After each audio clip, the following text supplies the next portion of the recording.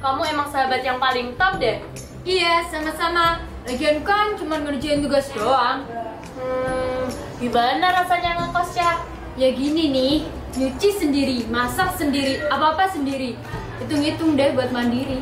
Ngomong-ngomong soal mandiri, aku jadi inget debat sama si Winda kemarin. Dia ngeselin banget, gak mau ngalah, mana sok tahu lagi. Debat soal apa emang? Sampai segitunya. Debat soal gerakan PMI yang sifatnya mandiri, aku masih kesel banget sama dia. Panas lagi ngeliatnya. Mana habis ini ketemu lagi sama dia. Eh, Cak, menurut kamu gimana soal gerakan PMI yang sifatnya mandiri? Gimana supaya gerakan sama sifatnya itu bisa sesuai?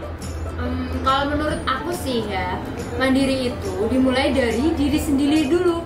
Kalau udah gitu, baru ngerasain efeknya ke kegiatan yang lain. Misal organisasian, perhimpunan, atau yang lain deh.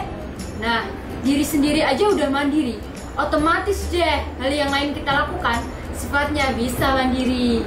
Asalkan jangan mandiri dalam hati egois kayak si Winda. Dia nggak bisa, Cak, kayak kamu. Eh, Cak, kamu jangan pernah berpaling dari aku ya. Ih, apaan sih kamu? Udah, ayo berangkat. Iya, iya.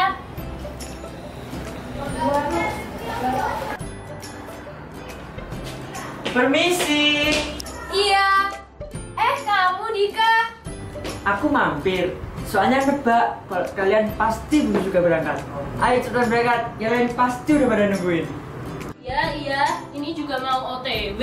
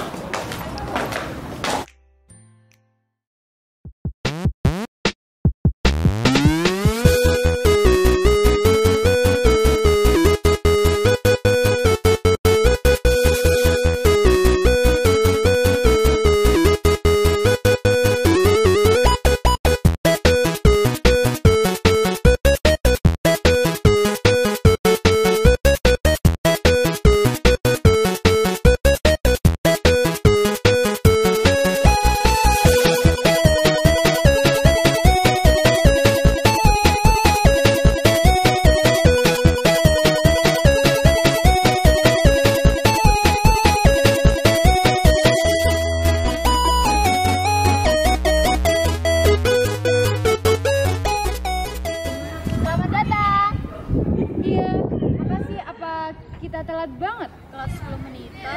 Untung cuma 10 menit. 10 menit? Gak bisa dibilang cuma. Mulai lagi deh. Stop, stop. Udah, udah mas kalian ini. By the way, yang lain pada ke mana nih?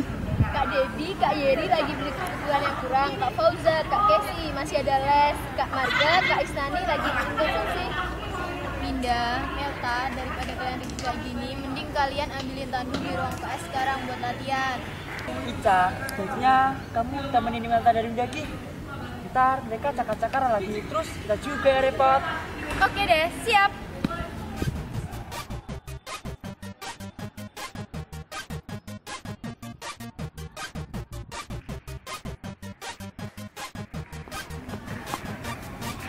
Eh, Cak, Kak Marga keren juga ya waktu praktek PP.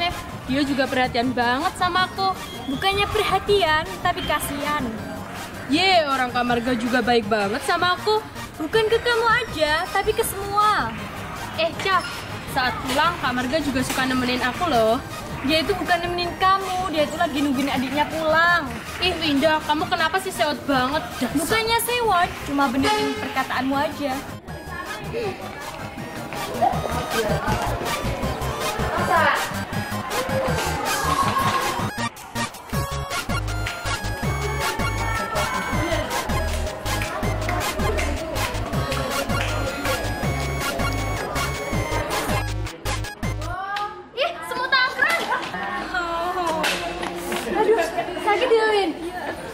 jalan ke UKS pelan-pelan ya.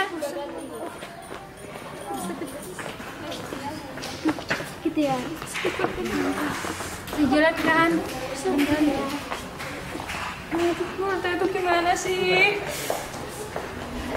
Pelan-pelan ya, jalan ya. Ayo, Neng.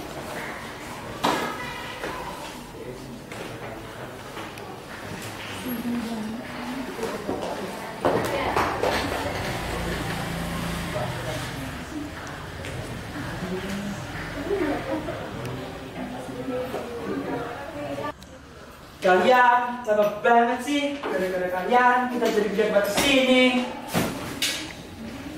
Kenapa ini? Kenapa bisa kayak gini? Ups. Kamu ngapain sini Jamil?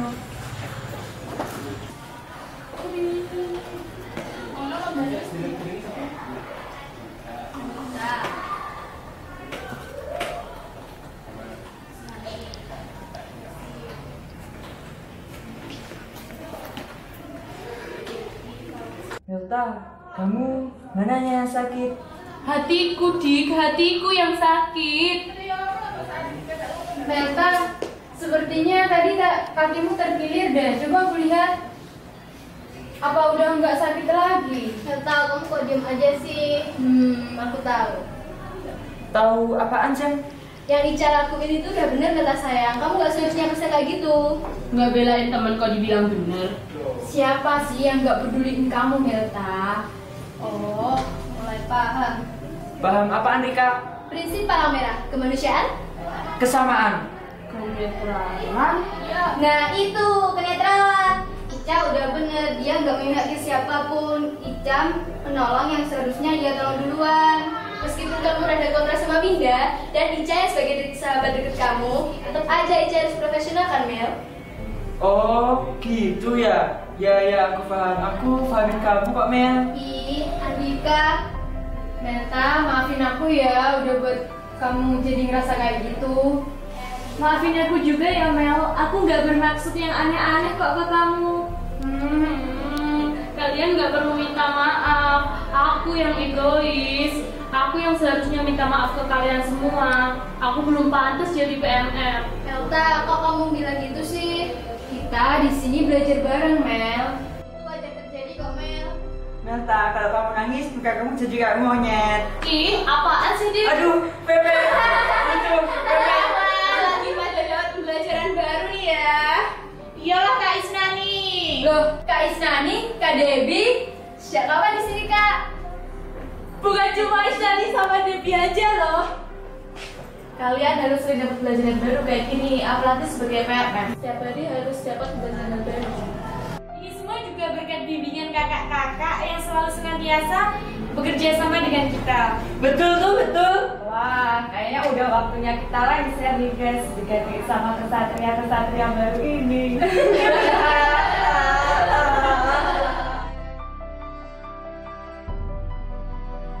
Daska, ini sedikit camilan buat penambah semangat. Asik.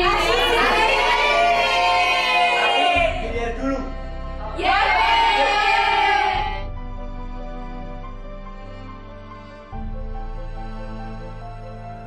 Orik Sagana.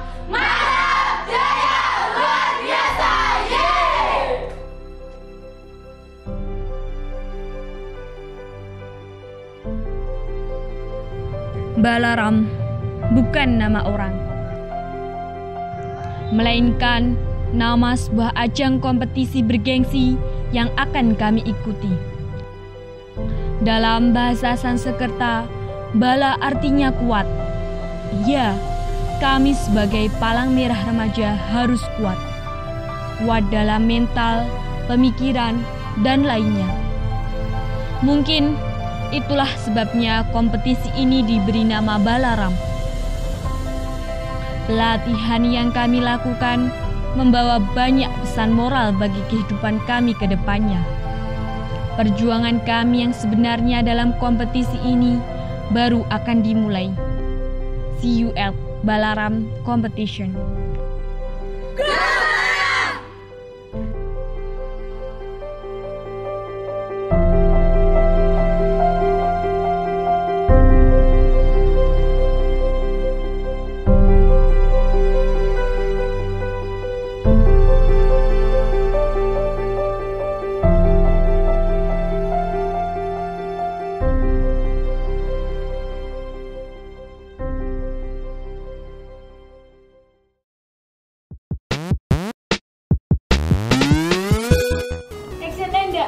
Action.